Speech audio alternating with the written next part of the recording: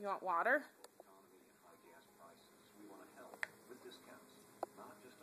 Water.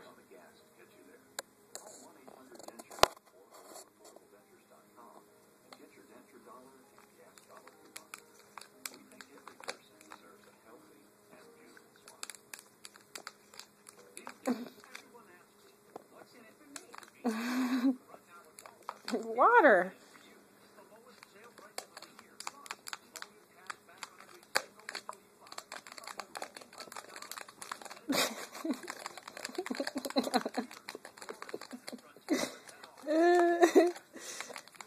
you almost got it. Mm, good water. Oh, there's still some in there.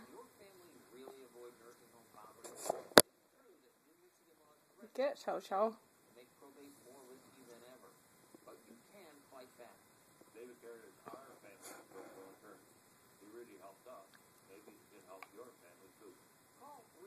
make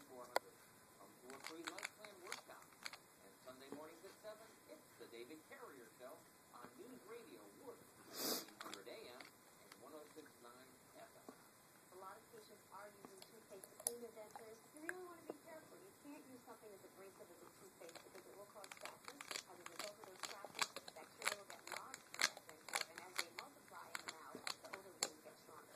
I'm gonna keep digging. You're gonna get to it. I always advise my patients to use Polident. It has specific agents in it that can kill bacteria. Using Polident daily, you definitely will not be creating scratches. You're going to have a fresh, bright, Is that good?